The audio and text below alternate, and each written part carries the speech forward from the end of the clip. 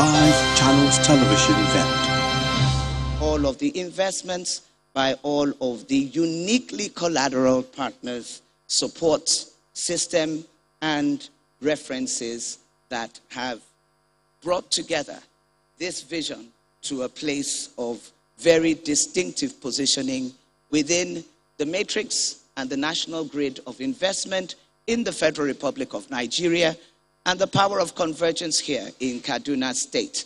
Kaduna State has a singular statement work and worship.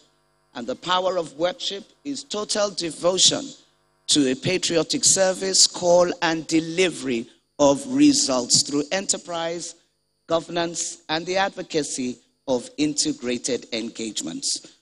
Congratulating once again Governor, his team, and KADIPA because it couldn't happen without the resolve of a team to deliver and to serve the vision of their principal. Today, this subject matter for the plenary is on the opportunities in transforming the agricultural sector in Kaduna State through a magic word, a magic reference, which actually is much more than magic. It's a very deliberate investment of thoughtfully resolved actions all around the African continent and leadership, the African Free Trade Agreement.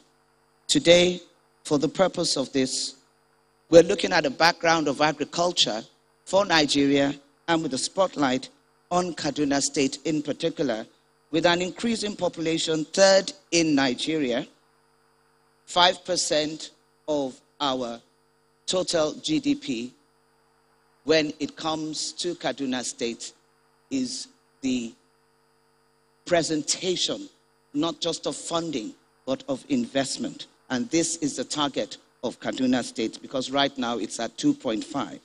The role of agriculture in the economy of the state, therefore, cannot be overemphasized, accounting for 36.69% of the state's GDP in 2018, with 2.45 million hectares of upland and 0.89 million hectares as lowland. The state has been blessed with arable land and the major crops maize, rice, guinea corn, soya beans, and beans are all gold star A rated on the global commodity market. Kaduna State is strategically located, being a link state in the far north and a link to the south from the far north. And this has allowed the state to grow. Grow not just as a center of learning, but as a commercial nerve center city. The Africa Continental Free Trade Area Agreement was signed in 2018 with the goal of creating a big market for Africa and the opportunity to trade amongst African countries.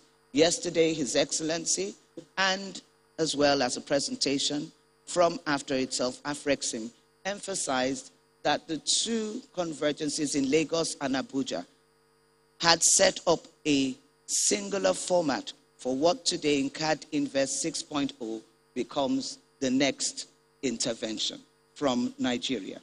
This portends, therefore, great opportunities for agro businesses here in Kaduna State and connected to and through the opportunities of the Kaduna State agro enterprise. Ginger production, maize production.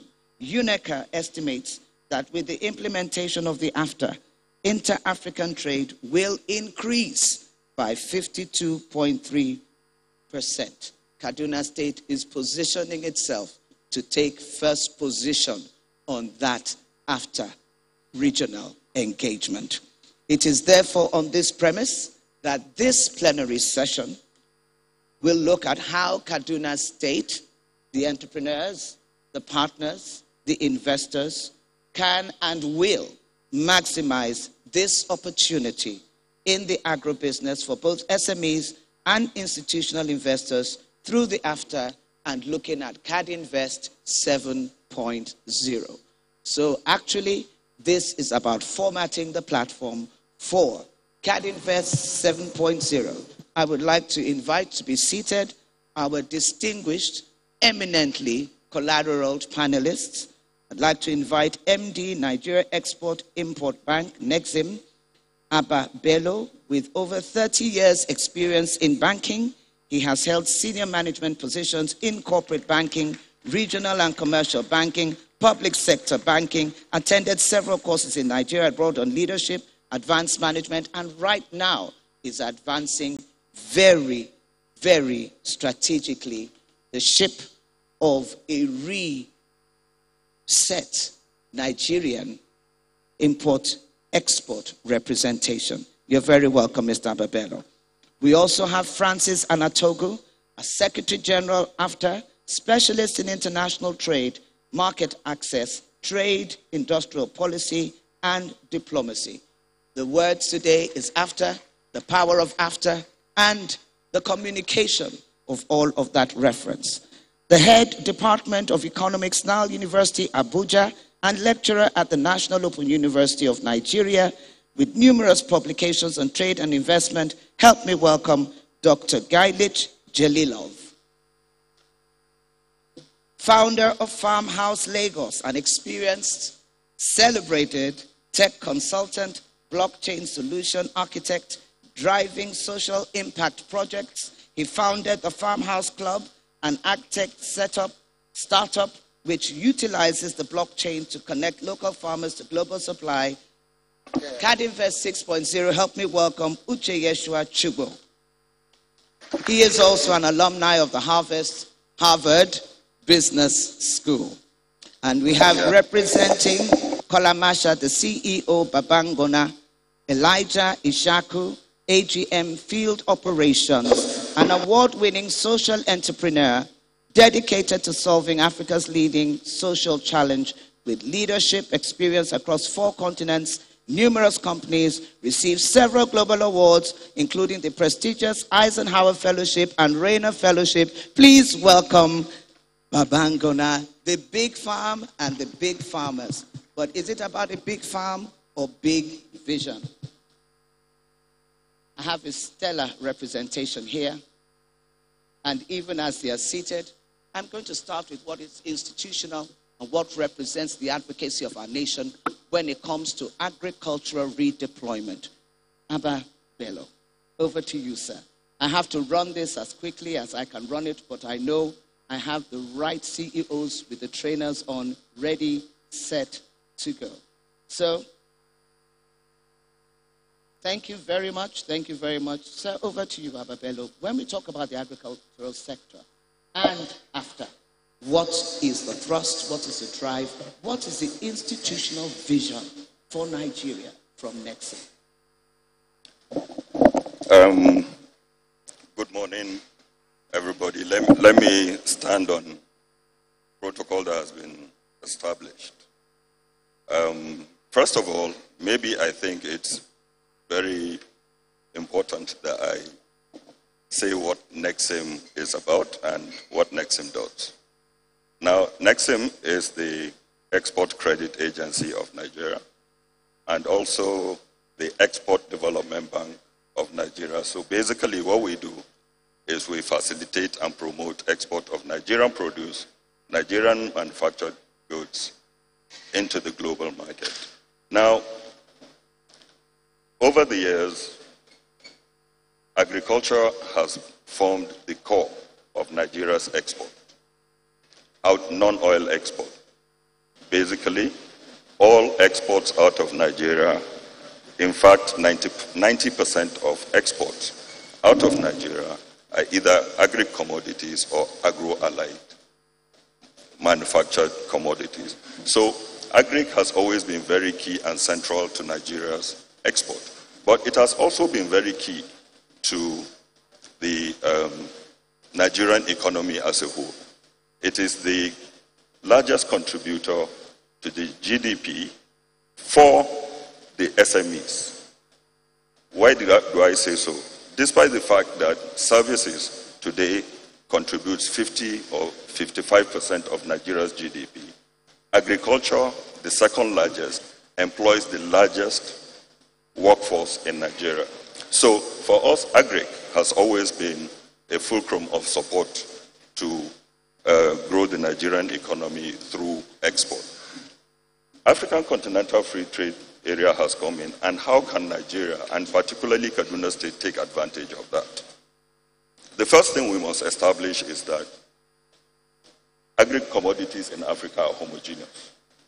What we produce in Nigeria is actually what is produced around the neighborhoods of Nigeria. The countries around Nigeria also produce the same commodities cocoa, grains, um, cashews, and so on and so forth. So,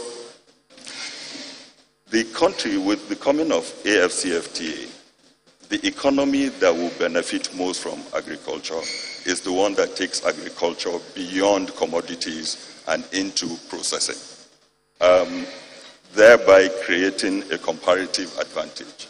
Now, the Industrial Master Plan of Nigeria has provided that Nigeria already has an advantage in industrialization and we must ensure that we stay number one within the regional industrialized uh, West Africa, where we're already number one, and becoming number two in Africa. How is it, uh, how will Kaduna State benefit from that? I think from what we have heard since this investment summit started, Kaduna State is in, going in the right direction. Why? Because it has provided the atmosphere for investments to come into Kaduna. Number one, in ease of doing business. Um, and KADInvest, as is going, the conversations are going, the benefits and advantages of having Kaduna as a cluster for uh, industrialized agri- agricultural processing is becoming more and more clear. Okay? So we think that Kaduna stands at the center and has the advantage of becoming an industrialized hub for uh, distribution of African, uh, within Africa, of processed agricultural produce. Thank you so much. Please, a round of applause. Help me appreciate that very, very robustly profiled and summarized intervention. Yes, at the core of Nigeria's export and all of our positioning on global markets when it comes to the agri-economy. That is the defining reference for Nigeria outside of the emphasis on oil as the mono export reference of the Nigerian economy. Dr. Gilad Jelilov, you are an expert in trade and investment around agro enterprise, national enterprise. Now, within the context of the given security threats and the issues challenging that as related to the value chain of delivering agriculture as a forefront representation for Kaduna and all of that which is now being re-collateralized with this knowledge-based economy. What is your what is your interpretation of how we should direct this for Kaduna State and for Nigeria. Okay, thank you so much. Um, I believe Kaduna is doing very well. First of all, why? Uh, because um, we call it signaling in economics. When you are going to go for the job interview, uh, you're standing, you talk, not shaking, being confident. All of these are more efficient than your uh, just resume, basically. So when we, when we see the forefront, the whole Kaduna uh, management government here, uh, including His Excellency, bringing out the investors at the same time, the government, the stakeholders all together and trying to find out what are we going to do next year. And uh, I have seen a lot of improvements, including uh, the car industry, and yesterday I was really happy to hear about the tomato farm, uh, tomato factory. Why? Because tomato was one of our examples in economics. While we are traveling, uh, half of your uh, final goods are spoiled, and it was a huge problem.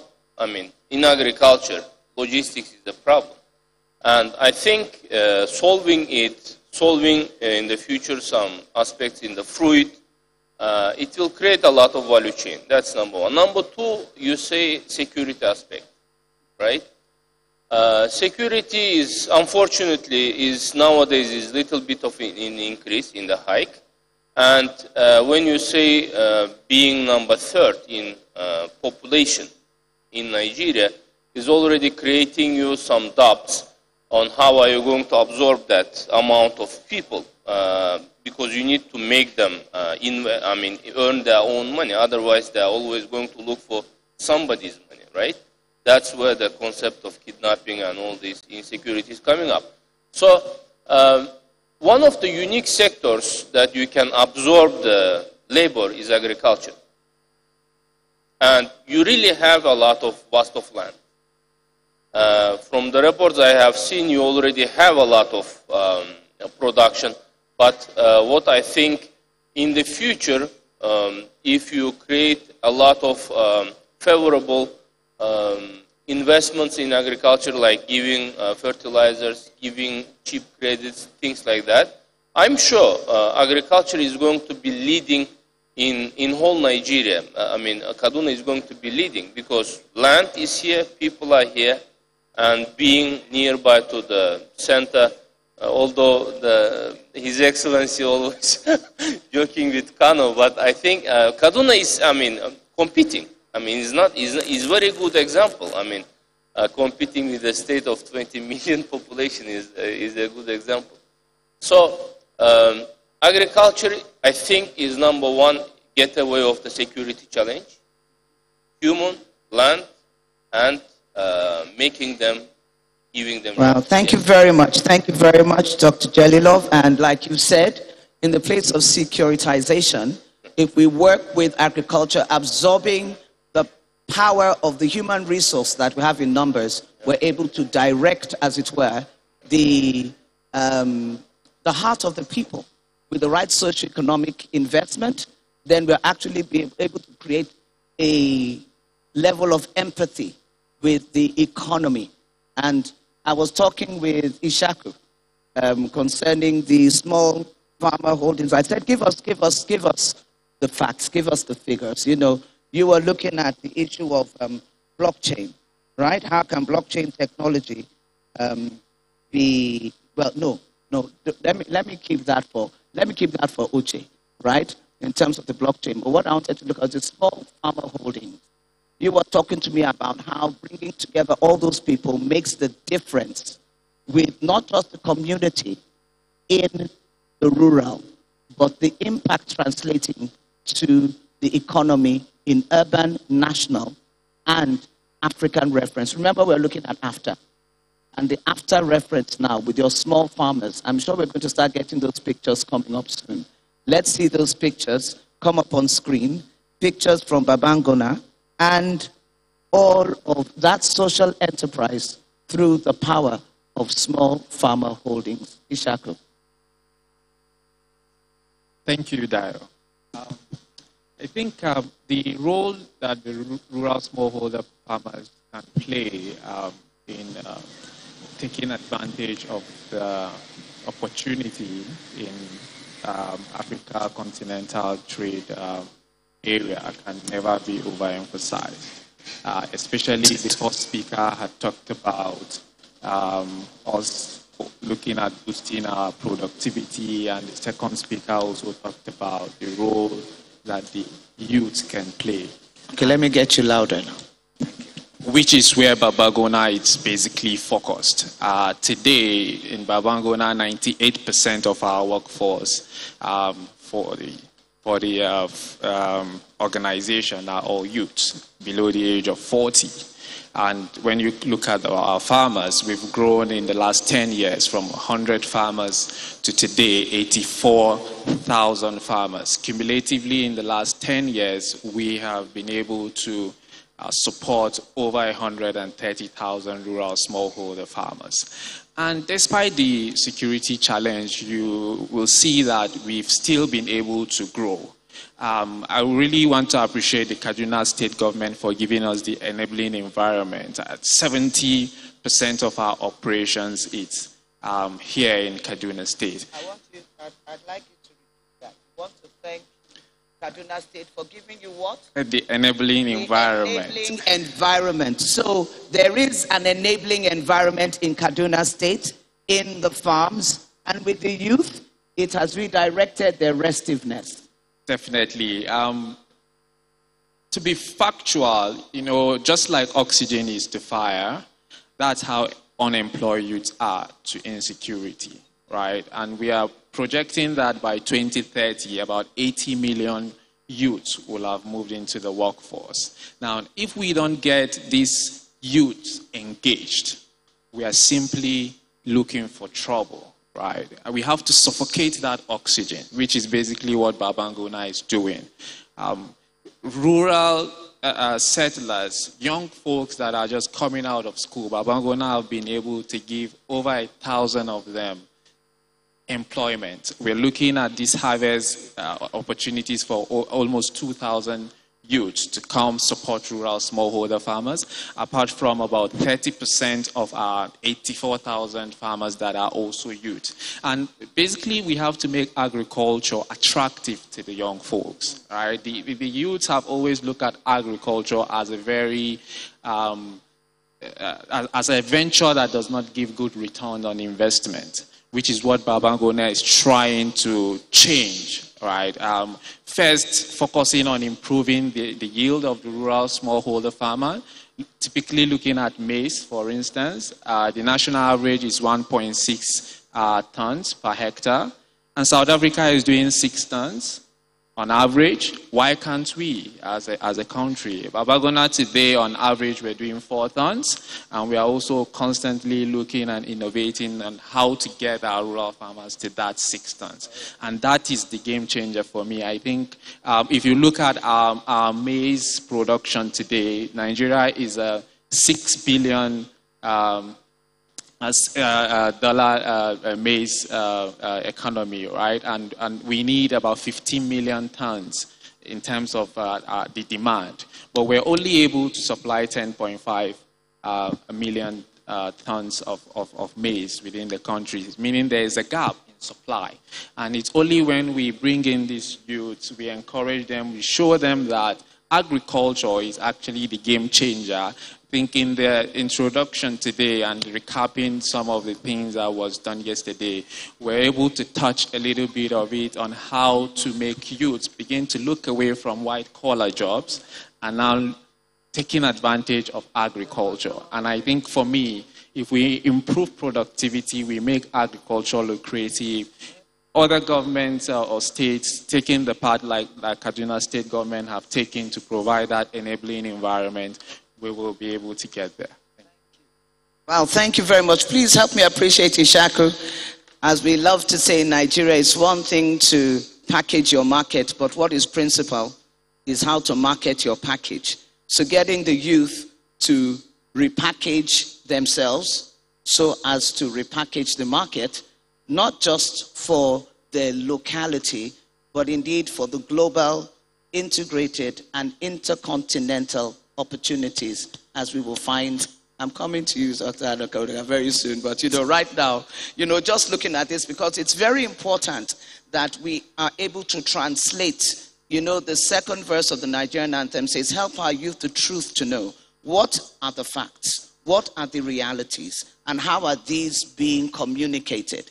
We can conference on this, we can summit on this, we can do all of that, but it has to be packaged in a way that the youth are ready to become the principal drivers of the principal tractors, not just the hoes, but they're able to see themselves in that attractive expression, not just of the white collar, but of being agropreneurs, youthpreneurs, drivingpreneurs of a new enterprise. It's all knowledge based, and the beauty of having a new youth driven agro alignment is that it will be digitalized because the youth, naturally, the sixth finger is the digitalized finger with which they connect to the whole world.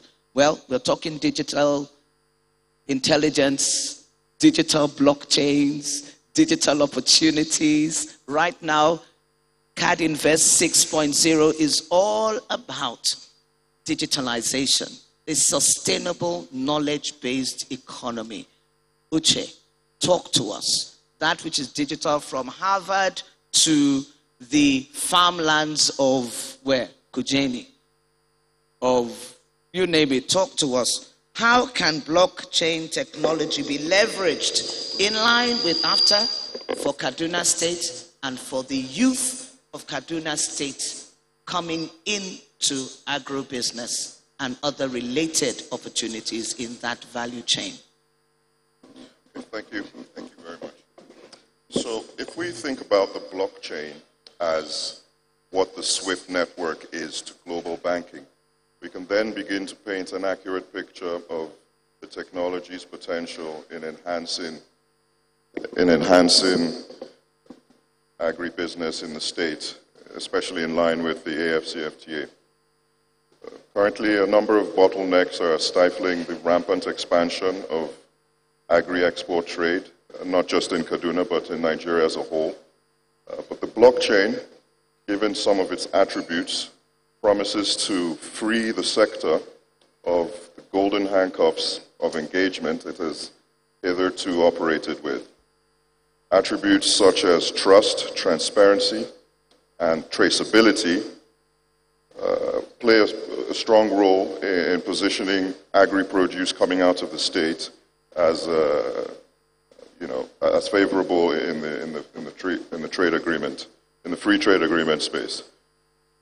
And traceability provides reliable data such that uh, consumers can track the journey of the, the, the food from production to process to who processed it, um, especially as uh, food provenance is now a growing concern for, for consumers, and food fraud is also at an all time high. Uh, Nestle, I was just reading on the way here, has pledged $1 billion to promoting sustainable agricultural practices that promotes carbon sequestering. Uh, the blockchain can facilitate uh, um, you know, the, the, the tracking of, farms are actually sequestering carbon. So this not only affords uh, revenue streams from, from selling the produce, but also from selling carbon credits as well.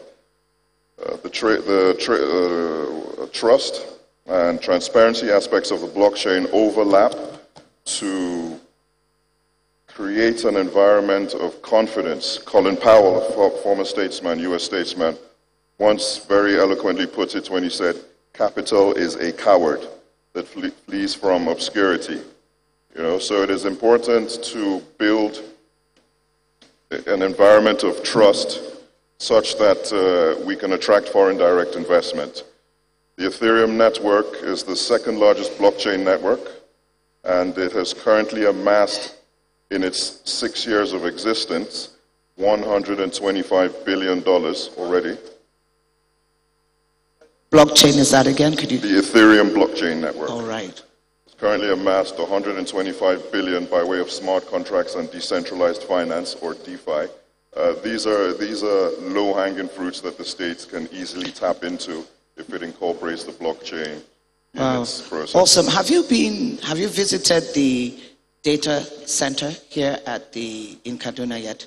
I haven't. I must admit it's my first time in Kaduna. I think we will have to organize that you visit that so that you can situate, as it were, the intellectual property of this opportunity into that so that the triple T's that you've mentioned in terms of trust, transparency, and traceability can be part of the initiation of that which follows through the value chain and manages it in the space of sustainable, knowledge based driven enterprise for the agricultural platform. Well, we'll be coming back to you, right? Thank you very much. And um, we trust that diasporally, the connections too that bring this home will bring it to not just the farms, but to AFTA. So, AFTA is here with us. We couldn't have a better voice and a better translator of all of the components. This is the go to specialist when it comes to conversations around international trade, market access, trade, industrial policy, and diplomacy. Secretary General, after Francis Anatogu, talk to us. Thank you very much. Um, just uh, um, first um, couple of clarifications before I go ahead. So my role, I'm um, the Secretary General of AFCFTA Secretariat is based in Ghana. It's Wamkele Mene. I am the, uh, the Secretary of the Nigeria's National Action Committee on the AFCFTA. And I'm a Senior Special Assistant to the President on Public Sector Matters. Secretary of the National Action, Action Committee, Committee on implementing after, after, after for Nigeria. For Nigeria. You are still our go-to person. Yeah. Um, let me start by saying what is the Africa Continental Free Trade Area Agreement, and what what value is it to us? Why should we? Why should people be interested in it? So, it is a set of rules on how we trade. The way um, Trading in a domestic environment and trading internationally are two different things altogether. Um, when you're trading uh, uh, internationally, you start thinking about um, documentation around uh, um, um uh, uh, standards, start talking about uh, the rules and a lot of documentation in addition to what you need, uh, in addition to whatever thing you need to do. And you also now think about what the import country requires versus what you require uh, in your own domestic environment. So the Africa Continental Free Trade Area Agreement is an agreement to set a set of rules. And in the phase one, we have an agreement on trade in goods trade in services, and we also have a mechanism for settling disputes that are, that are bound to happen and when there's a trade. Now, but what does it offer in practice to us? Why should we bother? It promises uh, liberalization, which is removal of duties on 90% of tradable products. It promotes what I'll call African content. So, rules of origin. What, is, what does it mean? It means that for products to be classified as AFCFTA products, they must have a minimum African content. Uh, so, if you don't meet these criteria, you will not um, you will not benefit from, the, uh, from AFCFTA.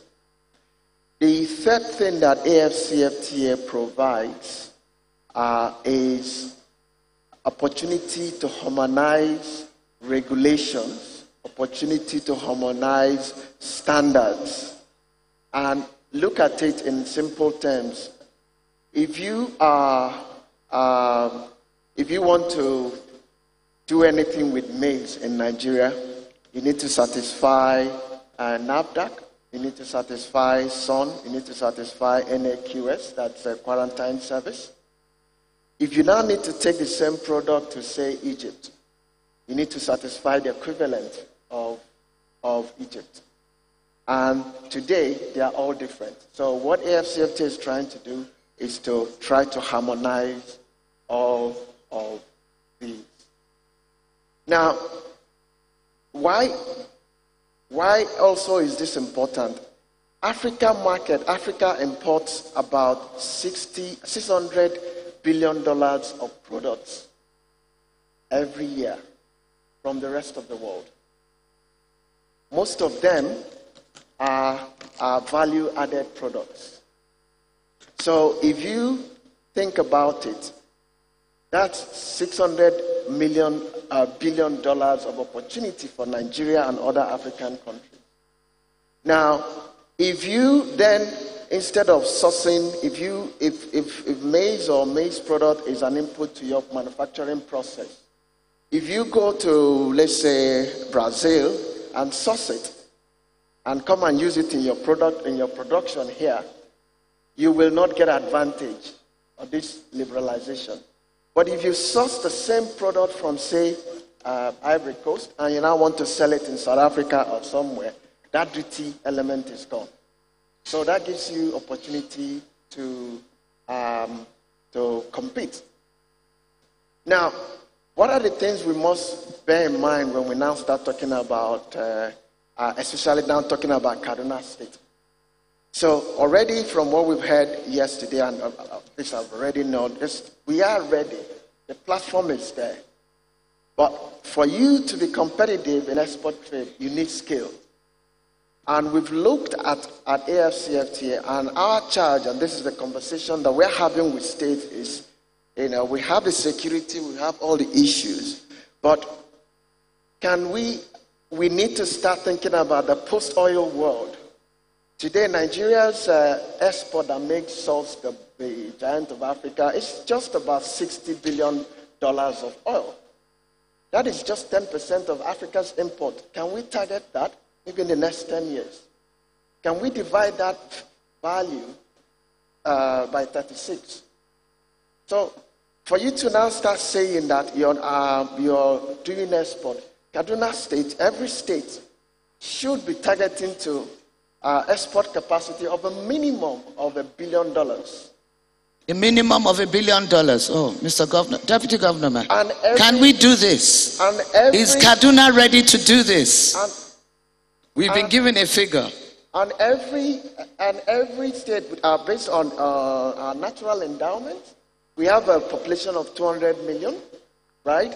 Um, um, we, we, we are talking about um, we are already hearing about investments. So, with the people we have, with the capacity that we are building, so we now need to focus on specific ecosystems. And like Professor Munger said yesterday, you know, we tend to, or people or countries tend to um, focus on diverse sectors and products. But if you can bring it down and say, yes, it's good for the domestic, doing whatever, everything we are doing for the domestic market, um, focus on many sectors and, and areas. But for the export, can we choose a product? Can we choose a service? Can we build ecosystem around these services and product and this product and services, and then take it to Africa? By the way, what you need to do to get to Africa is what you need to do to get to the rest of the world. If we take just one last one, if you take your soya the, the, the, the world uh, um, import of soya is, the world is almost 100 billion. I think it was in 2018. Africa is, is maybe about 10 or, or even less. So the market for just soya alone is big. But we now need to move from soya, just soya, the raw commodity, to all the derivatives of soya. And if you now, and if you now focus on it and say, yes, we have this, this uh, uh, investment in a soya plant focusing on this segment. Can we then get other segments aligned? And you build the ecosystem, you build the people that will make Kaduna. If you talk soya, you talk Kaduna. I like that expression. If you talk soya, you talk Kaduna. Well, son of the soil, please let's appreciate once again Francis Anatogu the secretary for the National Action Committee for AFTA in Nigeria. Thank you very much. Thank you very much. If we talk soya, let's talk Kaduna. Let's talk son of the soil, Abba Bello Kaduna son. Now we are talking from soil to global economies, like we just heard Francis say. Once you can take it to Africa, package it for Africa, creates the currency, the exchange, the paradigm of triple T, transparency, trust, traceability. You get it to the African brother, where east, north, middle, wherever, south, Africa, you can take it to the world. But the beauty of what we are packaging for the world, our product, our productivity, is that we own it. Now, in owning it through your institutionalized governance and direction and drive, perhaps the currency that takes it from an African to an African without a dollar exchange in between. How can this work? Can it work? It must work. It should work. Abba Bello, tell us how to make it work after aligned. Thank you. It certainly can work. It certainly can work. It Thank certainly you. can work. And there are already efforts um, through Afrexim Bank and uh, various central banks across Africa to create PAPSS, which is an exchange where, because of numerous currencies across Africa, trade has always been difficult. Uh, payment systems don't exist, in addition to other challenges. But Afrexim Bank and other central banks under the auspices of Africa Union is trying to solve that problem where we can trade in Naira for an import from Ghana. Okay, and there is a clearing system, which is what PAPSS is supposed to be. But beyond that, AFTA is supposed to be uh, the integration of Africa for trade and movement of people. Okay, and uh, payment system is not the only challenge. Uh, I think Francis has already mentioned the need for certification, standardization, and various other um, regulatory uh, challenges. So even with the liberalization of trade between borders, there needs to be some certain standards that need to be um, met for each product, especially agricultural products, okay? Because there are standards that need to be met right from input to in where it is even uh, agro processed. There needs to be standards that are fit for consumption in other countries and certifications. So while it, it is always said that exports of non-oil products is low because of lack of financing, while that is true, but financing comes after all the standards, all the certifications, and so on have been met. So we have challenges or issues that can be tackled, okay? But we need to put the right infrastructure in place, okay? Uh, storage, we need to put uh, logistics, different models of logistics, sea, rail, and so on and so forth. To that, all this coming together is what provides the finance to support, and indeed investment to support agricultural exports into the rest of the world. And he is right.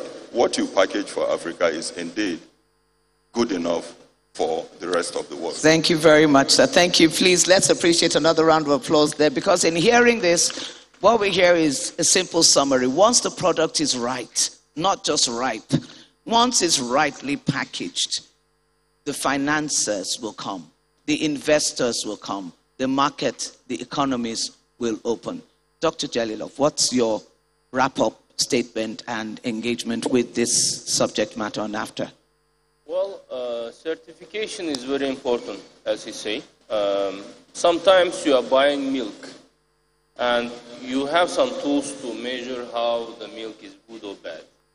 If uh, a government is not doing that one, uh, the certification or checkup, each citizen, which we are talking about 200 million people, should have all those tools to check up. And it's expensive. So what I mean, um, if middleman, which is the government, will set up the standards and check it up for us, it will be easier for us and cheaper to consume. That's number one. Number two, uh, logistics, I think uh, perhaps is the biggest uh, threat for the agriculture. Um, we, I actually travel from Abuja by train and it's very beautiful and I think we need to have the same uh, very good specialized wagons for agricultural transportation. It's number one. Uh, because when, when we see during pandemic, uh, when the online business has grown up, I mean, I think Jeff Bezos had around uh, a trillion dollar for his wealth during this pandemic. I mean, it means uh, online works. Uh, we have seen in the countries where they have a very vast network of uh, distribution um, working very well, and the online trade for those countries has been working. For example, uh, UK has their own royal uh, post system, which is distributing goods for online purchase at very minimum cost. When you are buying something in Nigeria, Jumia has their own uh, distribution system, Konga has their own, which is quite increasing the cost of distribution.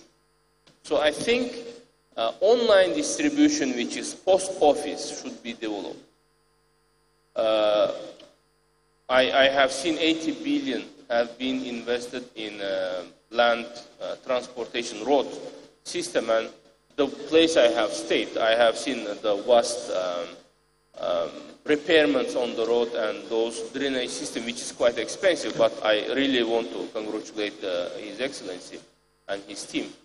Uh, transportation road, transportation air, transportation trains, especially for Nigeria and Africa as a whole, should be developed very well. And in that case, I believe uh, you wouldn't be able to buy so many things from abroad. And one of the things I would like to say, I have been in Kenya and they are producing a lot of flowers.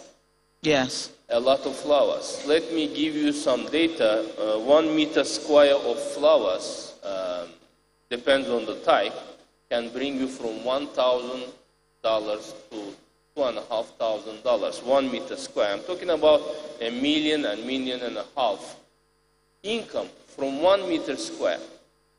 Right? It's very important, and Kaduna is having very favorable weather, um, not different from uh, Nairobi or not different from South Africa, which is actually one of the leaders yeah. as well in uh, flower production. So I believe uh, transportation, logistics, storage, is important, and yes. once you do that, it will grow up. Thank you very much, Dr. Jelilov. Um, which I could see nodding your head when it comes to the issue of the value chain, blockchain, comes to the whole issue of standardization of the movement of the product and how we're able, with the right kind of intervention. Yes, what we're talking about, all the development we're seeing in Kaduna is the Kaduna Urban Renewal Project that ongoing right now has the city breaking up all kinds of areas just to establish a whole new terrain of connectedness for logistic movement of people, of resources, and coordinated. So um, we continue to celebrate all of the initiative of Kaduna State. But Uche, over to you very quickly because I'm going to have to rush us through now. What's your take coming from Dr. Jelilov's um, intervention?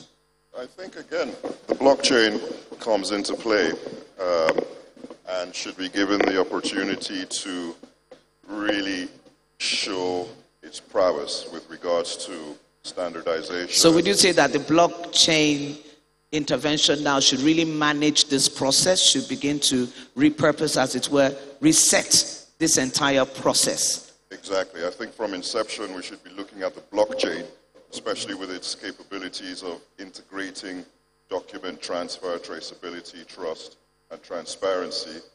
Um, it, it, it, I, I, don't undermine Africa's ability to leapfrog when it comes to technology. And uh, this is an opportunity for uh, Africa to again demonstrate. Uh, and we're not going to lose or miss this opportunity. Absolutely. No, we're not. So, also, I have to create an opportunity very quickly for the last comments from Francis and Ishaku. Thank you very much. I think um, at the National Action Committee, we have looked at what will it take us to successfully implement AFCFT, and we came up with seven goals. One that I talked about earlier is producing what we're going to export, and I've given you the target. The Two. second, which is ties into the, the theme of this, is uh, uh, developing the, um, the workforce right, to to accelerate the productivity that we need to be Three, competitive. digitalized Not just digital, the people. the people. All right, the human and resource. the people, not just for the 200 million, but for Africa, 1.2 billion economy. Great. And three, The third one is engendering a friendly business environment, and that Kaduna is already doing with their governance. But also important is automating administrative processes, All among right. others. four, The fourth one is infrastructure, and we've talked about it. Five, The fifth one, and very important, is that we have a big domestic market, 11.8% of the total import of Africa. So we have to hold on to our market share, increase it. own our right? market. So, Look so inward. for, for a state like Kaduna and for our state, we need to catalyze our domestic environment. Government Six. offtake, Okay. um, getting the big companies, just having, taking actions, policy actions and other actions to Okay, that's that. been done. That's how come we are here now. Six and seven. The sixth one is we talked about market access. Mm-hmm. It's about deliberately uh, making ourselves known in the market with our products. So, yes, when you talk of Nigeria, some image comes to mind. But if you talk about Kaduna, anywhere you go into Africa, something in terms of a product. Yeah, that's re-emphasized here because yesterday it was said it needs to be more visible. So we need to and brand seven, The seventh one, which is what we're already doing, the, uh, is about making sure that the AFCFTA works well. So the rules of origin compliance, trade remedies uh, administration, and all of that. Sir, over to you. Let it work. Make it work. Help us make it work. Thank you, Ishaku.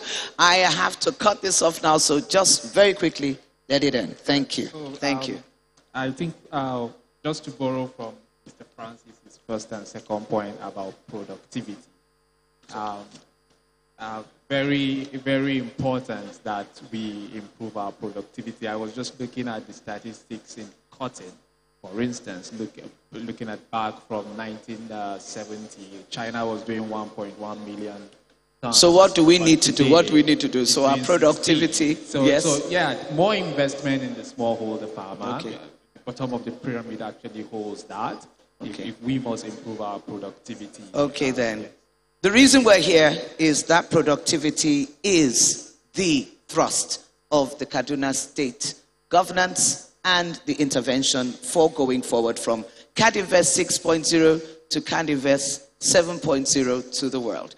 Please help me appreciate all of the panelists here today and let us remember that the government, even though it drives the process as the principal entrepreneur in this, the intervening middleman, the most important man is not the government, but it is the citizen that makes the difference. Please, once again, a round of applause. Thank you very much for the policy. Can we please come forward for our picture, inviting the governor, deputy governor, and um, Royal Highnesses, please join us for the pictures up front. Thank you. Thank you very much.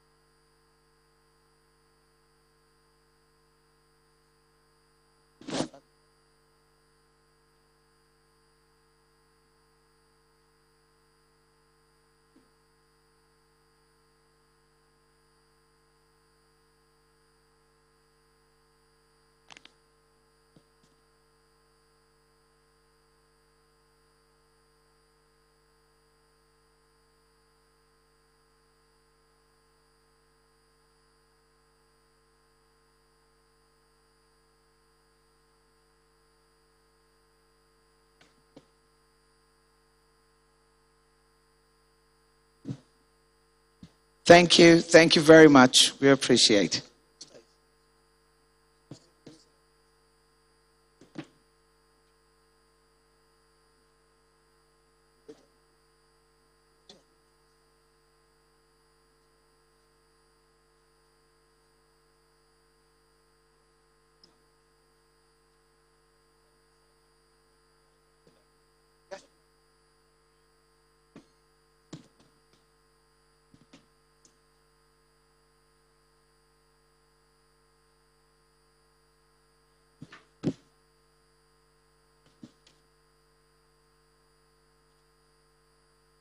Thank you very much. We'd like to acknowledge the presence of the Honorable Minister of State for Mines and Steel Development, Dr. Uche Ogah OON. Thank you.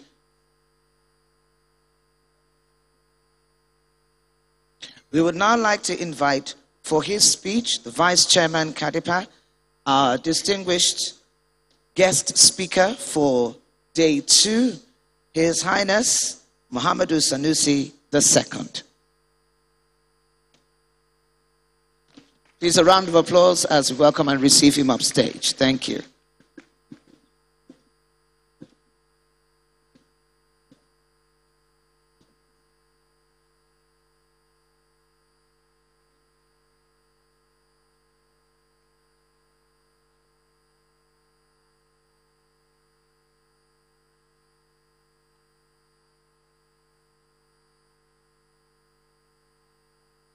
Bismillahir Rahmanir Rahim.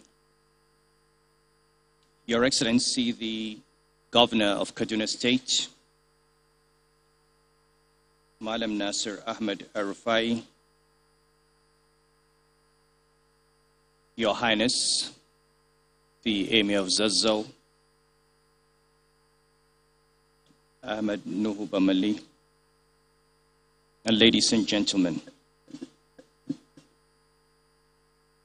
Uh, my presentation today is on the theme of this summit, which is transitioning to a sustainable knowledge based economy. And let me begin by way of setting a context by congratulating the Kaduna State government for thinking ahead, as I said yesterday for looking at the future and for preparing the state for the crisis that we are in and the crisis that is to come. Your Excellency, you have taken a number of difficult and unpopular decisions.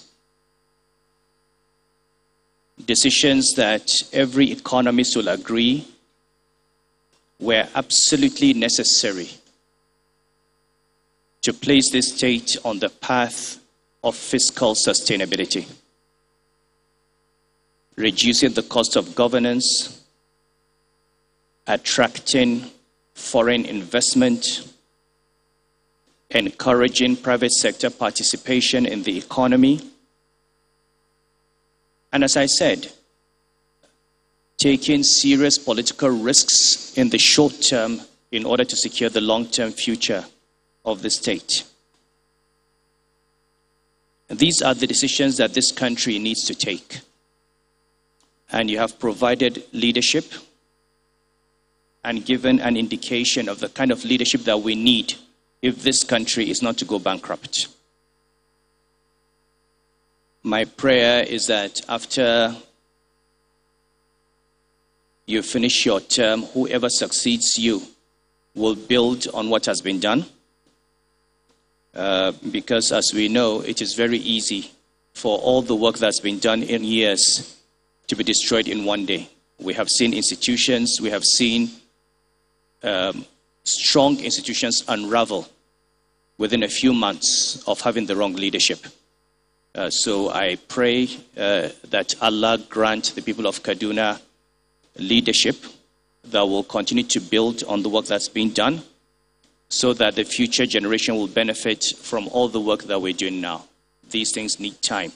And we'll see with the examples we give that the countries that did this um, did this over 20 years, over 40 years, um, but it started at one point with one leader. So I begin my presentation with a slide I referred to yesterday. Now, that slide basically tells us why we are going the way we're going. You have countries and their per capita GDP, and we have resource rich countries and countries that are considered knowledge economies. On the horizontal axis, we have the knowledge intensity. On the vertical axis, we have per capita GDP. And all you have to do is look at the direction of the dots to see that as you become more knowledge intensive, your per capita GDP increases. As an example, look at the countries that we here consider rich countries. Look at Saudi Arabia. Look at Bahrain. Look at Kuwait. We consider these very rich countries, and that's, that's where they are on per capita income. Now compare Saudi Arabia to Singapore or to Finland or to Switzerland or to the US or even to the United Arab Emirates. You know, we all think Saudi Arabia is richer than UAE, but look at the per capita income. And what is the reason? The UAE is further down on the global knowledge index they are at 58, while Saudi Arabia is at 44. So, if there is any evidence that this is the right path, this is evidence that you need. As you increase the knowledge intensity of your economy, as you rely more on human capital, as you rely more on intellectual capacity and less on natural resources, you reduce poverty and increase per capita income. And that is what uh, you're supposed to do. So, the next slide basically starts with a definition, which we've heard from the Vice President yesterday, on what is a knowledge economy.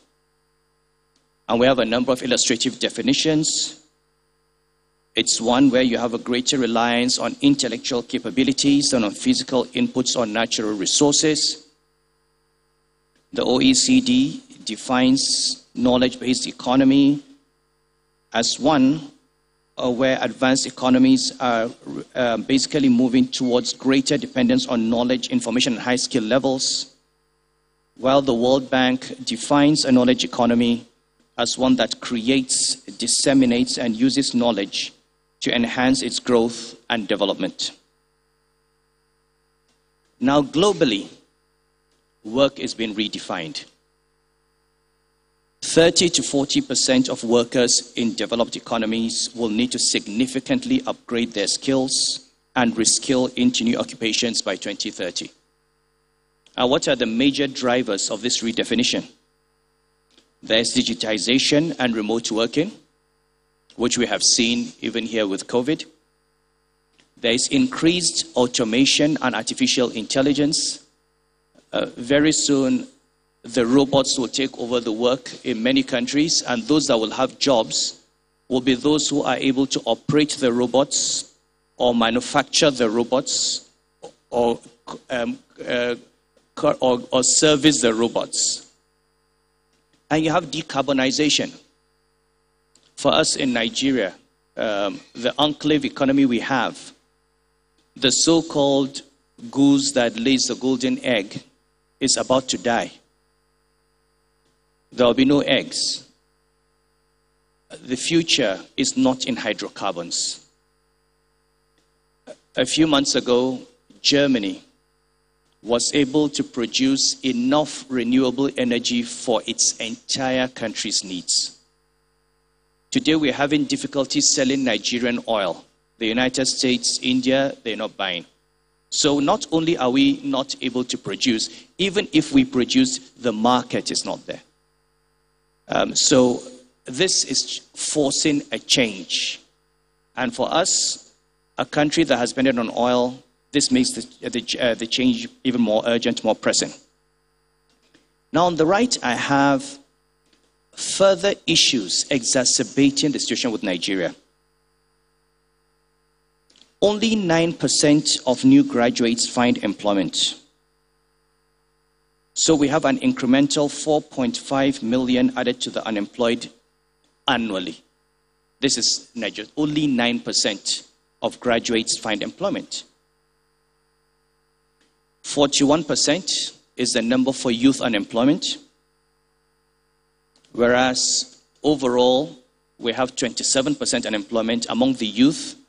It is 41%, which is the most serious um, component of the population because that's where you have restiveness, that's where you have thuggery, that's where you have crime, that's where you have insecurity. Nigeria is ranked 114th in the Global Innovation Index. We are lower than other African countries such as Kenya, such as Rwanda, and Senegal. We are, in fact, ranked 14th in sub Saharan Africa. I think we should have these reality checks and know where we are as a country. Let's not, we continue calling ourselves, um, what do we call ourselves? The giant of Africa. We're, the giant of Africa. We are a giant with clay feet. Okay? So we are 14th in innovation in sub Saharan Africa. Countries like Senegal and Rwanda and Kenya are ahead of us. I'm not even talking about South Africa. Our federation, our expenditure as a country on education is only 7% of the budget. 7%.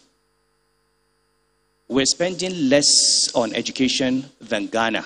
I'm not talking about as a percentage of the budget. In absolute terms, even though the Ghanaian economy is much smaller than the Nigerian economy, even though the Ghanaian government revenue is less than the Nigerian government revenue, Ghana is spending more on education than Nigeria.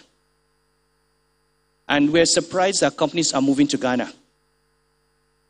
We're surprised that industries are moving there. We're surprised that individuals are going there. We're surprised that the Ghanaian president has become the leading uh, president in Africa. We are not investing in education and human capital. We have a 68% mismatch between graduate skills and job requirements.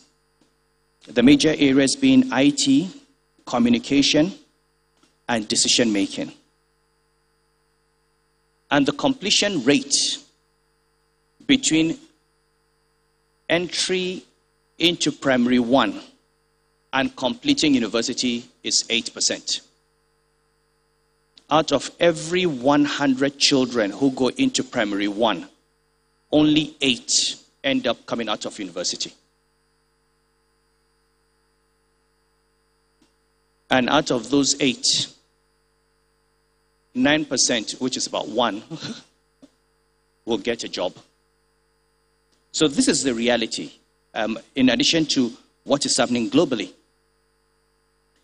Now, digitization provides an opportunity to level the playing field if we are deliberate and if we shift from consumption to value creation. I made this point at last year's um, summit. Part of our problem is that even when we have the solution at hand, we do not take it. And I gave the example of the mobile phone. You know, you, you have this mobile phone, you, you paid for it, and when you bought it, it was probably produced in the UK, so that is adding to UK GDP. You sit in your room, you think you've arrived, you want to go to England, go on the internet, buy a BA ticket, and you're happy, you send in money again to the UK, British Airways. You sit on your phone, book your hotel, nice suite, Hilton Park Lane, London, send money again to the UK. You book your car from the airport, send money again to the UK. Maybe you have Deliveroo, you book your food, send money to the UK on this phone.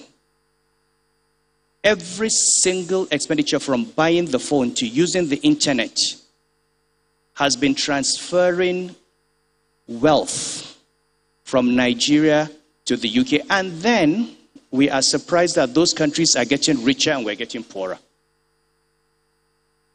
Meanwhile, you could use this phone for fintech, you could use it for logistics, you could use this same technology to produce Nollywood movies. You could turn this phone into a factor of production, creating jobs within Nigeria, into, in agriculture, in manufacturing, in, which is what those countries have done. And that's the difference between a knowledge economy and a consumer economy. So long as we continue taking this technology as consumption, it's like electricity. If you use, I mean, industrial revolution started with the discovery of the coal engine. It was once electricity was discovered, it was used for industrialization in Europe. What are we using electricity for? We're watching Manchester United versus Arsenal. Air condition, lights, street lights, you know, beautiful lights. We're consuming. And that's why when you say pay electricity tariff, people cry because electricity does not contribute to their earnings, it's just consumption. So, the whole idea of a knowledge based economy is to train people to turn themselves from being consumers into being producers through innovation. So that was setting the context. And let's look at the critical enablers and consideration for Kaduna. I said yesterday when launching the plan that when I went through the plan, a number of things I'll talk about have already been considered. Um, what I would suggest is we look at what we have done and then look at the gaps and see what we need to do in order to do that, to make this transition.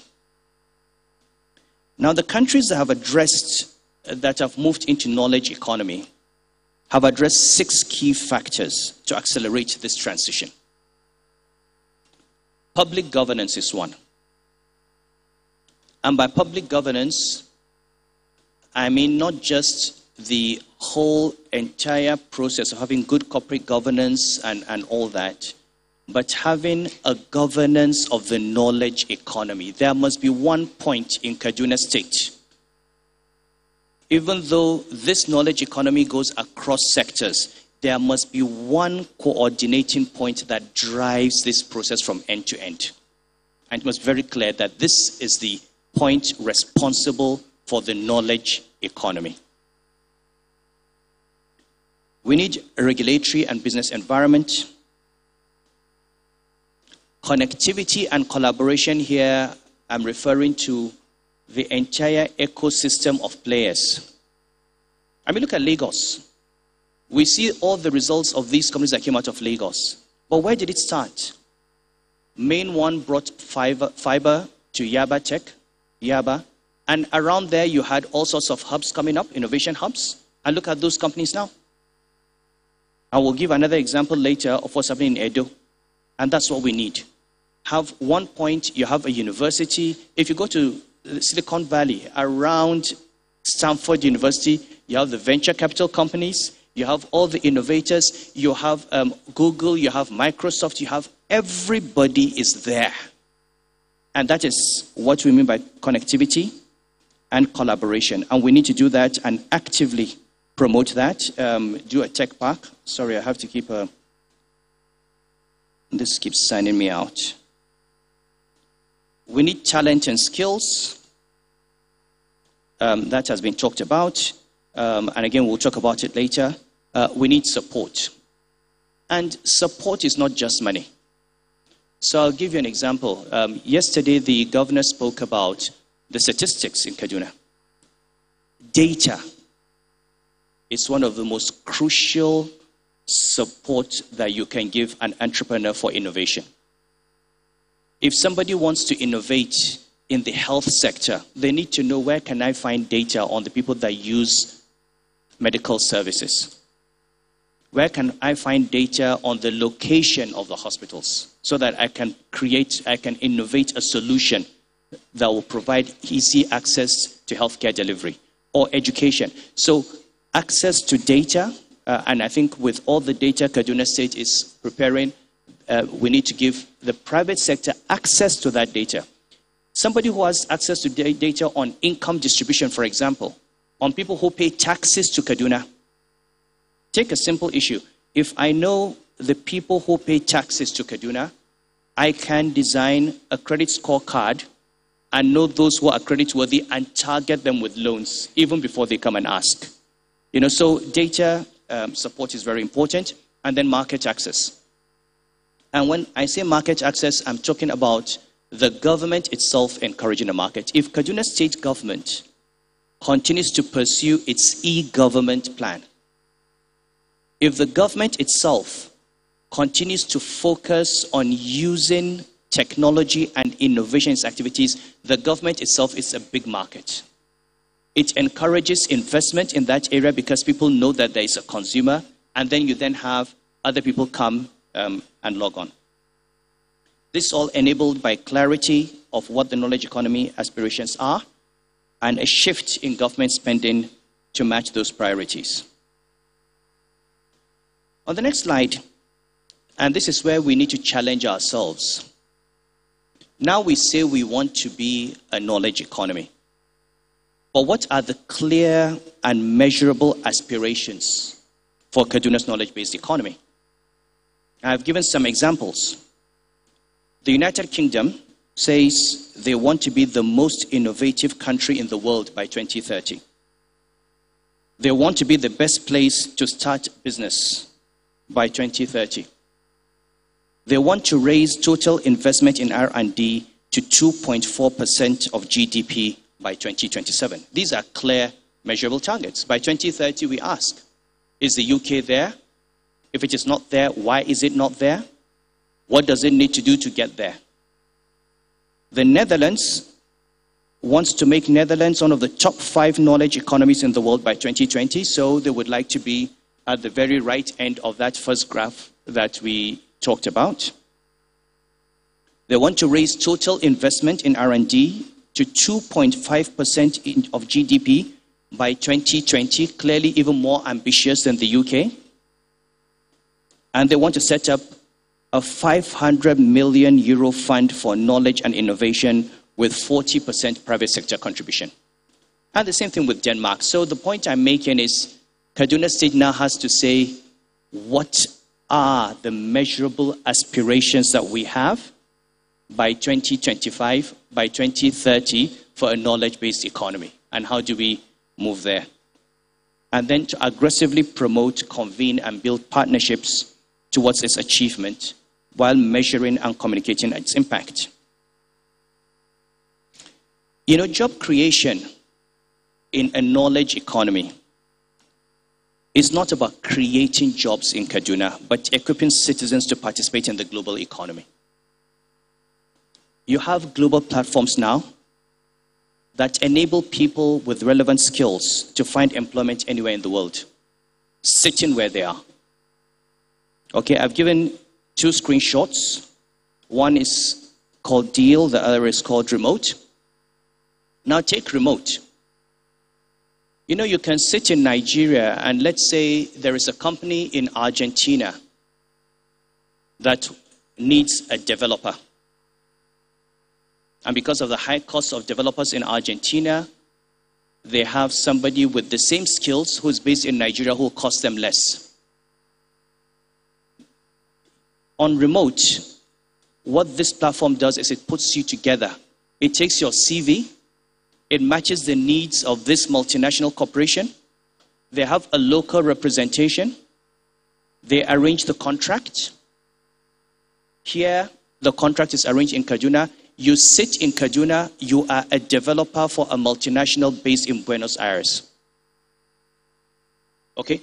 Remote ensures that they put their card or account number or whatever.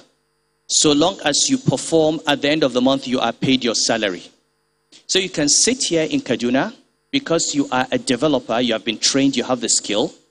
Be employed by a company in Argentina. You don't have to look for a visa, you don't have to fly to Argentina. You sit in your house in Kaduna, you do the work, you earn foreign exchange, and you pay taxes to the Kaduna state government. This is the future of a knowledge economy. You know, we, we move away from going to look for move, move our CVs around looking for government job. Today, you have somebody who has uh, a degree in information technology. He wants to work in the bank. Bank, bank, bank. I have people with agriculture, they want to work in the bank. Medical doctors want to work in the bank. with these skills. And you know, you can be a lawyer. And with, with IT skills, you can provide legal services to a law firm in New York. You can do research and so on. So you, it's basically equipping people so that they can be useful, they can have the skills that will make them employable globally. And they don't have to move across borders. This is the wonder of technology. And it happens a lot. Um, I, I know a company, um, an NGO in um, a foundation in Spain called Profuturo, and I think we've discussed this before, which has been training young Bolivian children in the jungles on STEM. They've taught them to code. They link them with European companies like Nestle.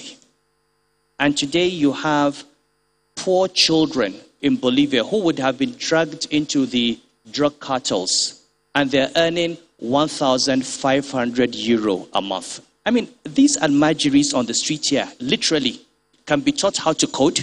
You know, when we talk about all these Almajiris, if you think of them as potential raw material that can be trained, teach them to code, put them into this global value chain, and let them start earning income in dollars. You transform their lives. So these are the kinds of potential that you have uh, with, um, with the knowledge economy. Um, the next slide. I'm almost through. So an example is you don't have to go very far. Right there in Lagos, you have something called Decagon HQ, which is now working with the Edo State government. It's involved in rapid upskilling um, of developers. And what it does is it provides upskilling for software developers. It's a six month residency, residency program. You either pay tuition up front or you sign a contract, you're trained, and then when you earn, you pay. There's a bank. A bank provides a loan. So the bank lends you money, you, you get trained, you start earning, and you pay. They've got a very high placement rate, both locally and internationally. And they're now building a technology park in collaboration with Edo State. It's also right next to University of Benin. So these are the kinds of things that Kaduna needs to do to strengthen the ecosystem. Um, you can train developers, you can train um, uh, the knowledge skills for, for agro processing or whatever the priorities are, or education for Kaduna State, uh, but that's what we can do. We also need to accelerate the ongoing GovTech strategy to help fund the ambition and create an enabling environment for innovation. So we work with infrastructure providers. Right now, I think Kaduna is working with Airtel. Uh, we continue with those kinds of partnerships. We should consider creating technology parks focused on priority sectors. I've heard a lot about agriculture.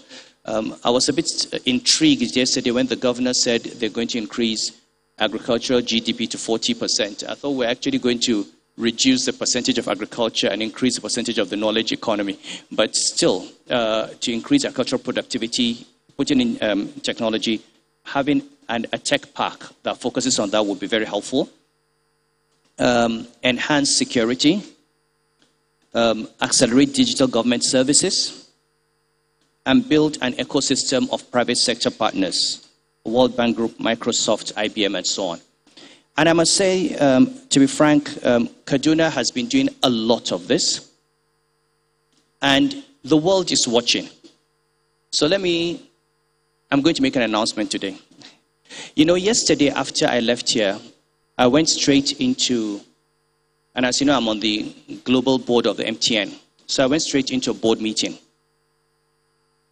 And at that meeting, MTN is starting something called MTN Education. It is powered by Google. Um, Google will be providing subsidized um, laptops. You have the Google Classroom, you have the Google, Google Workspace. MTN provides the voice and data connectivity. And at the board meeting, we were briefed that we're going to do pilots in three African countries and Nigeria is not one of them. And naturally, we're, one, we're 14th in sub Saharan Africa, the Global Innovation Index, so it will not be a priority.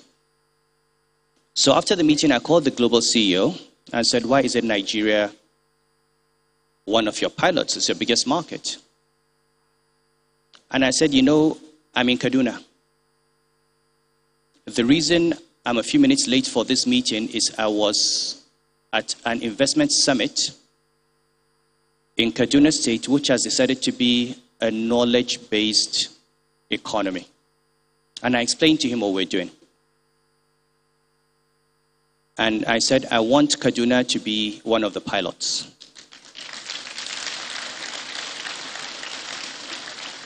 So the story is so he said, so he said, Your Highness, I'll, I'll call you back. And he called the Nigeria CEO and had a chat with him. And the Nigeria CEO called me. And the long and short of it is that MTN Education will pilot in South Africa, in the Sudan, in Ghana, and in Kaduna State of Nigeria.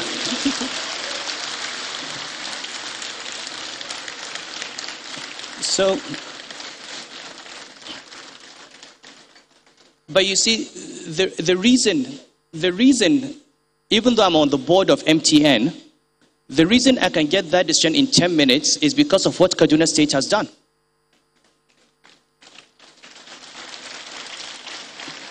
I can't, I can't go to the MTN CEO and say, you know, Nasir El-Rufai is my friend. We have been friends since teenagers. Please come and do it. But when you say, this is what I have seen today, we have just launched a plan. This is what they are doing. And you add in that, you know, by the way, they're already working with your competitors. They're working with Airtel. Oh, you better, you know, you come in. You know, you get a quick answer. So congratulations, Kaduna. I mean, this is, uh, the world is watching. And this is what you get when you're a first mover. Anyone coming to Nigeria now on this will say, which is the government that has shown seriousness, that has shown commitment in this area? And that's where you're going. And then they keep coming and coming and coming. So by the time you've got Airtel, by the time MTN comes in with Google, and by the way, next week I'll bring the Nigeria CEO to you. We have agreed I'll bring him to you so that you can start um, talking about how it to be done. But this is, um, um, again, congratulations, um, Excellency, for this. Sorry, I'm, you know, I'm talking about knowledge, but I'm an illiterate when it comes to these things. Uh, so I have a number of backup slides. Um, I don't know whether I need to go through all of them, but basically, what, what I've done is I've taken three countries. I've taken Costa Rica, I've taken um, Singapore, and I've taken Estonia, and given a review of how they moved to knowledge economies, what they did. Um, I saw something from UK Aid now, uh, Skills for Prosperity. Um, I mean, in, you'll see in here that Singapore has something called um, a Skills Future okay? And it's basically the same thing. It's about working with the private sector to develop the kind of skills that they want, change the curriculum, and make sure that people actually come out with skills that are suitable for the 21st century. So when I was reading through the UK AID uh, um, uh, flyer, you'd find um, practically everything in here. This is what those countries did. And also finding partners. You know, get two or three big names. Get Google, if we bring in Google and you get in IBM, by the time those two, three names plant themselves here, everybody comes. You know, and, and basically, if you go through um, what they've done, Costa Rica, Singapore, Estonia, I think you'll, and, and Estonia will be useful for you as well, as far as your e-government is concerned, because it is the model. You pay your taxes, um, you even register your companies, uh, you know, everything is done you sign, you approve contracts, your identity card system. Estonia is the benchmark, and Kaduna State can do that. So that's basically a summary of. Um, I know Uma gave me 20 minutes. I don't know. Um, so if it's, I mean, it's, it's 20 minutes by my wristwatch. So uh, thank you very much.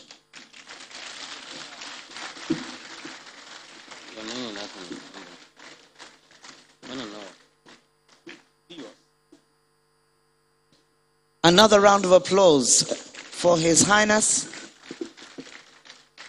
Muhammad Sanusi II. And wow, what just what a Christmas present. It's an early, an early celebration and such an investment by way of the relationship currency here today. Not just that is with reference to the pedigree of the engagement and the profiling of the different six step interventions, but most importantly, the value, the value chain that has been articulated here today. Hannah? Thank you very much, Your Highness, for that very, very beautiful presentation. Personally, what I've gotten from it is that we need to restructure um, the economy to capitalize on skills and value sets that are relevant to our priority sectors.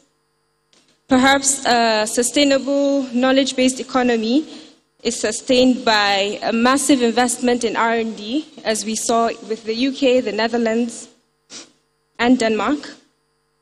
So I think we have gotten so much from that. We thank you once again. Please give a round of applause. Um, next, we have the launch of Skills for Prosperity by S4P program, FCDO, and the signing of the agreement with the Kaduna State government. Before that, I would like to specially recognize the Registrar General of Corporate Affairs Commission, Mr. A.J. Abakar.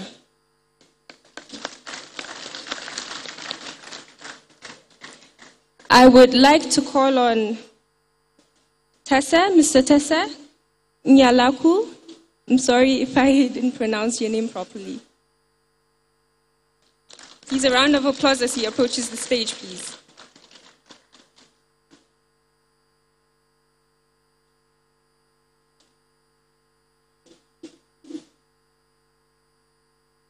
Morning.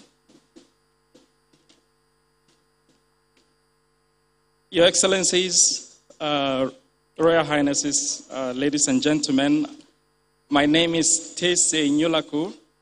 I am the Skills Advisor and Program Lead for Skills for Prosperity from the British High Commission.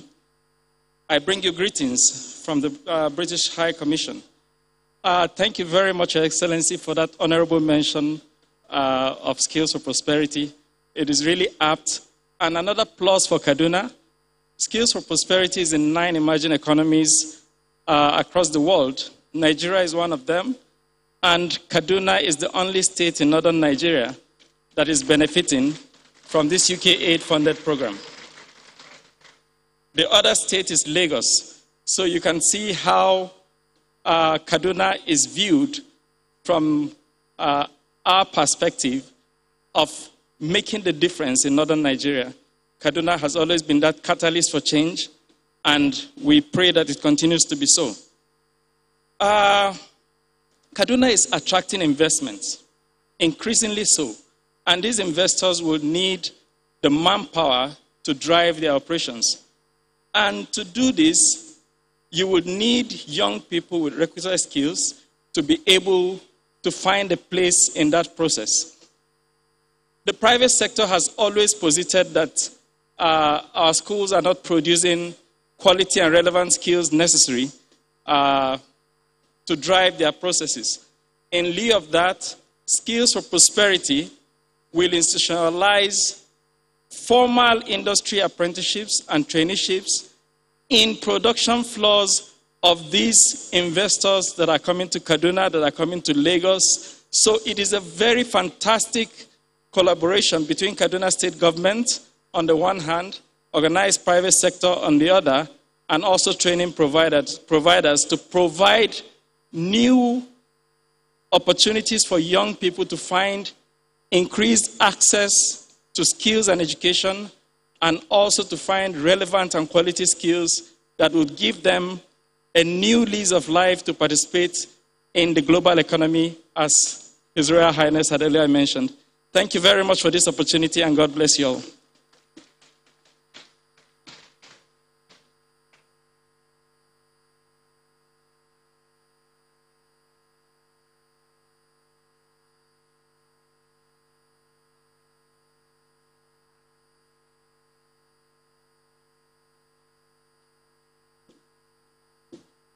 I would like to call on the Commissioner, Ministry of Business, Innovation and Technology, please, to come on stage for the signing of the agreement. Mr. Idris Nyam, please come on stage. Thank you very much inviting the Commissioner, Mr. Idris Young. And of course, Kaduna is the only state in Nigeria that has a Commissioner of Digital Innovation. Thank you very much, sir. Am I supposed to sign or am I supposed to make no, some... Yeah, I have two minutes. It's supposed to be projected.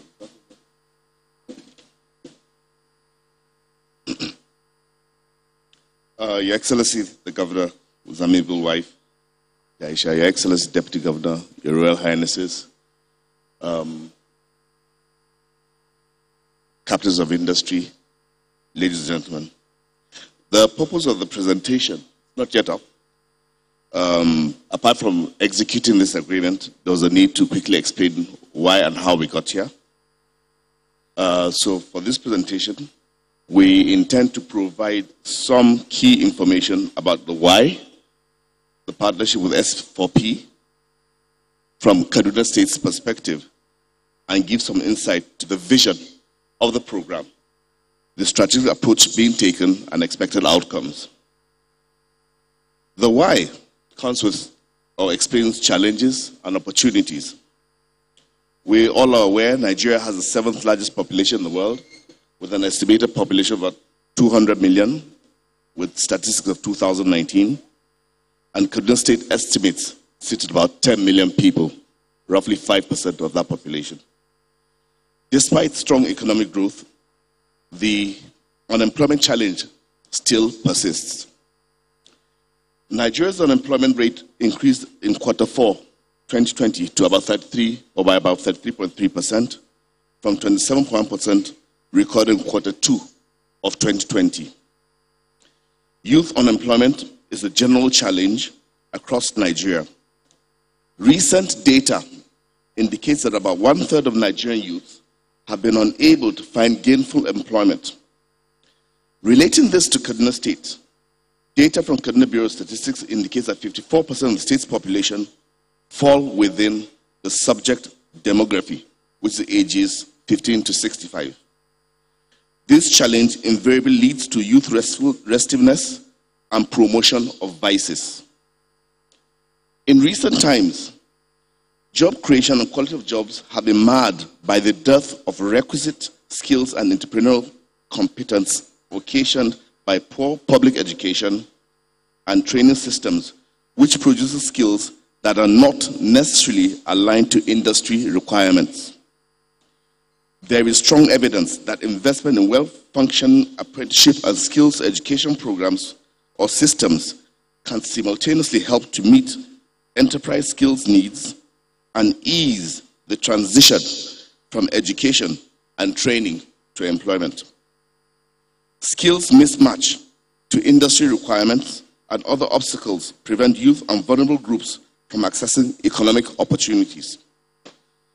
This is all among what is established to be a growing or booming agri-business sector, ICT, and the creative industry with huge potential for scale-up and provision for mass creation.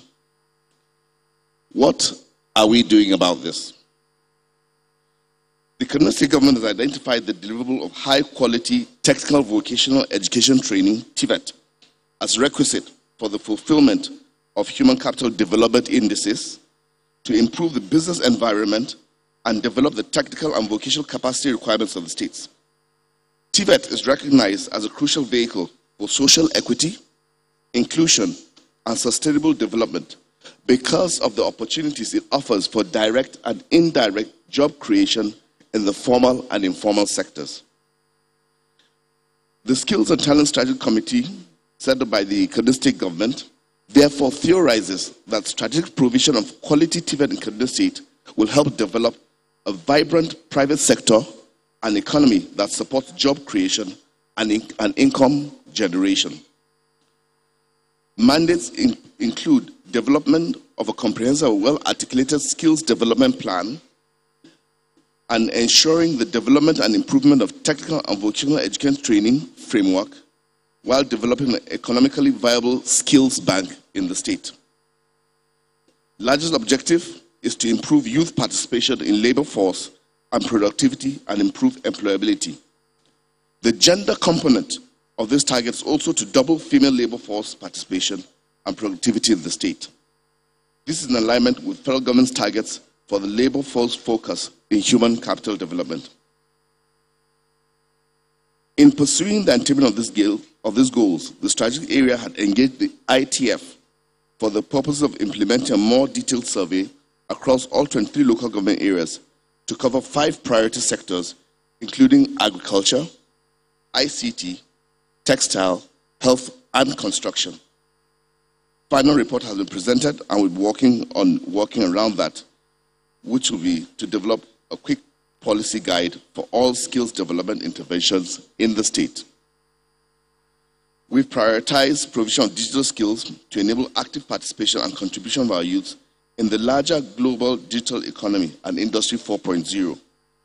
This prioritization is taking shape in various interventions and programs, such as demonstrated by a collaboration with Zenith Bank by set up the KAD ICT Hub and the most recent partnership with Bank of Industry in establishing an ICT stroke innovation hub in the state, which was launched in the month of August.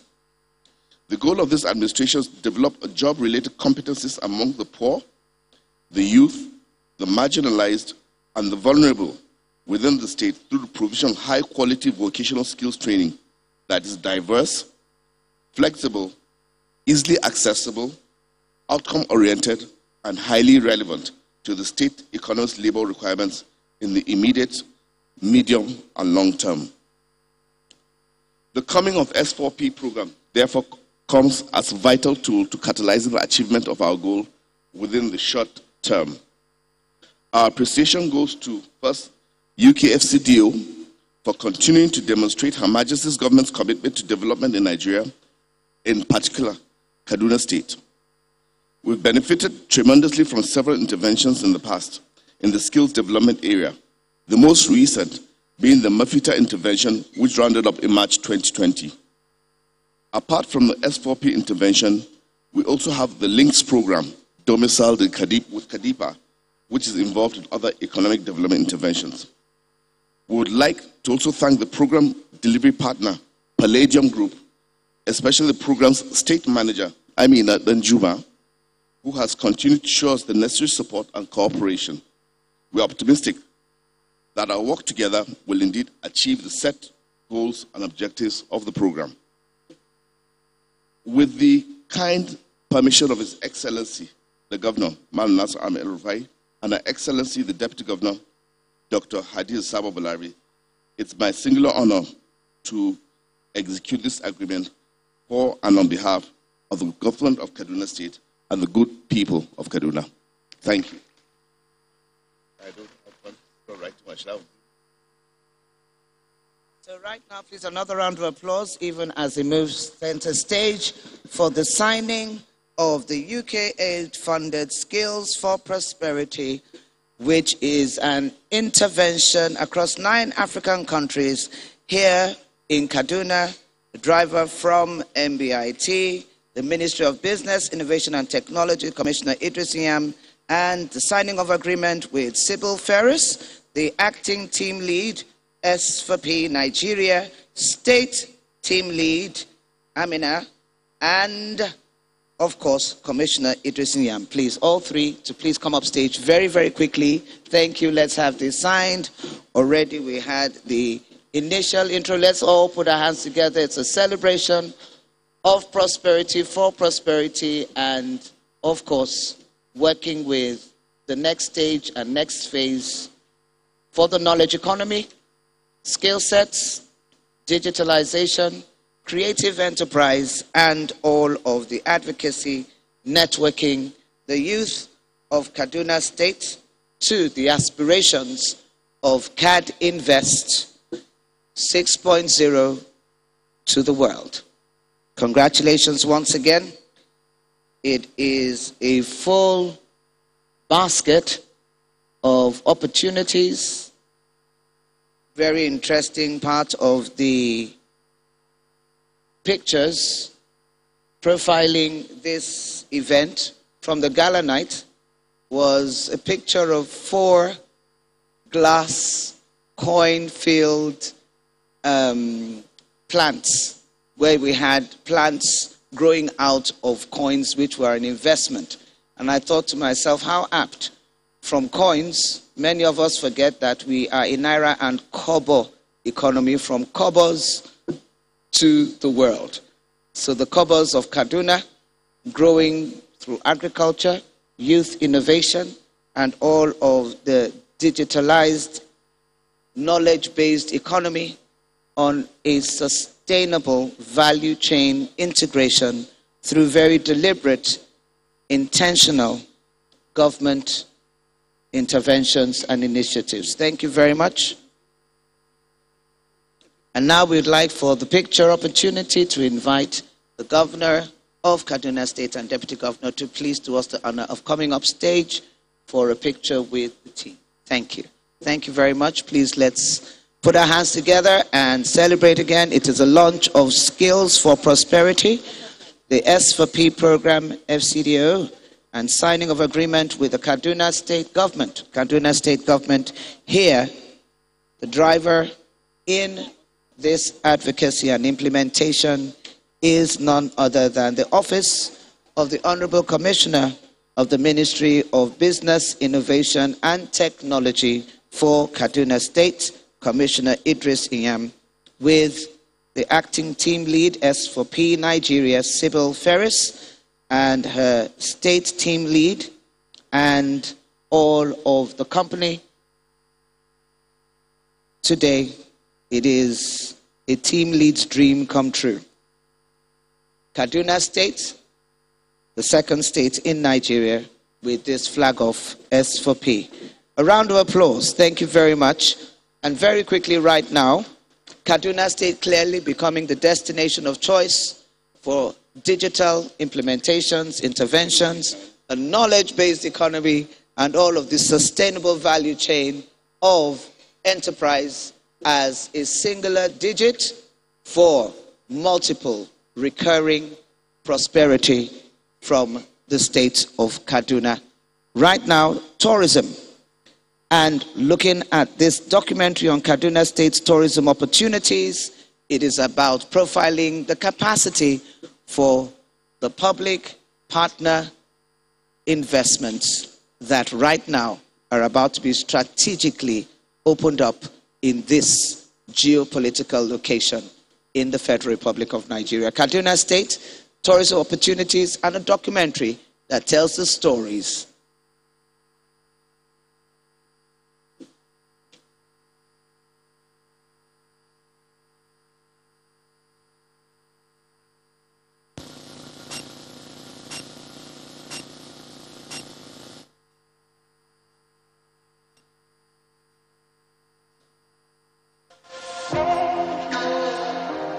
There's one thing Governor Nasir El Rufai of Kaduna State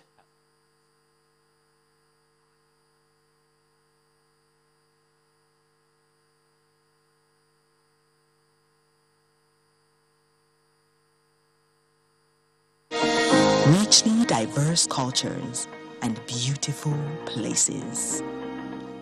Kaduna's history dates way back from 1912 to 1918 when Lord Frederick Lugard moved the capital of the then northern region. If there's one thing Governor Nasir El Rufai of Kaduna State has made unequivocally clear is his commitment to operate a private sector driven economy with an eye for the job creation ripple effect. This drive was the motivation for the creation of the Kaduna Investment Promotion Agency, KADIPA, a one-stop shop for all investors, charged with the mandate of removing all bottlenecks for investors and investments in Kaduna State. And so far, this initiative has paid off. Investors from around the world have made Kaduna their investment destination of choice, as several companies with varying capacity of investment magnitude have set up in Kaduna State. Today, our investment portfolio in the state is over $2.6 billion, um, both in actual investments and in announced investments, and we're still counting. You see new cities being springing up around where these investments are. We see this investment, especially in our um, agro-allied space, actually engaging the people around the area where the investment is in backward integration. So we've seen empowerment of, uh, uh, empowerment of people. We've seen jobs being created to the people. So across local governments, we have seen investments springing up. We have seen jobs being created. We have seen the economic empowerment of our people, and we're very proud of that. Today, Kaduna State is the most investment-friendly ecosystem in Nigeria and blazing the trail for other states of the country. This was the catch for African Natural Resources and Minerals Limited, a steel manufacturing company, arguably the largest in the whole of Africa, with an investment of $600 million in Kaduna State. The first catch is the location of the raw material, which luckily by the act of God is present in Wuzeni, and Wuzeni is in Kaduna State. But above all, the second catch is the attitude of the government of Kaduna State. You have the Kaduna Investment Corporation set up, and you have set up an online accessibility, and your response time was also good. And the governor, in his magnanimity, was very friendly to attract us in all ways to be stationed in Kaduna State. So it is these flexibilities and this response to the needs of the investor that encourage us to stay in Kaduna State. You could have been taken out of other states, like Niger State is nearby. Why we should be taking our raw materials there? But because of this attraction, we are staying in Kaduna State.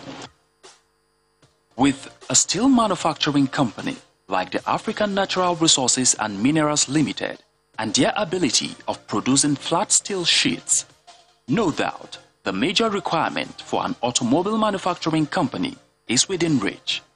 This leverage is surely a consideration for Dangote Peugeot Automobile Nigeria, DPAN, to set up a 100 daily capacity automobile assembling plant in Kaduna State.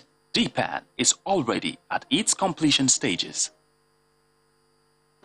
Uh, the company is taking over the franchise of the Peugeot brand in Nigeria.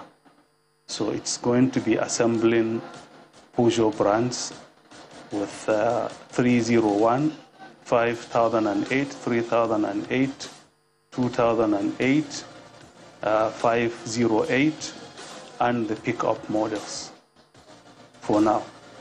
We are going to commence with a semi-knocked down assembly plant where the car body is going to be manufactured in France, painted there, and then all the other components will come loose and we assemble them together. Uh, we envisage in the next uh, five years we will move on to CKD assembly, which is the completely knocked down assembly. That is to say, the car body is going to be assembled here in Nigeria, painted, and all other components assembled in Nigeria.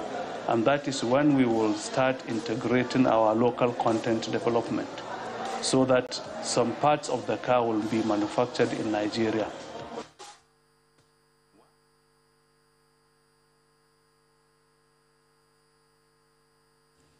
This is Channels Television. You've been watching the closing ceremony of the Kaduna Economic Summit, the sixth in its series. Please stay tuned as we return to our regular programming.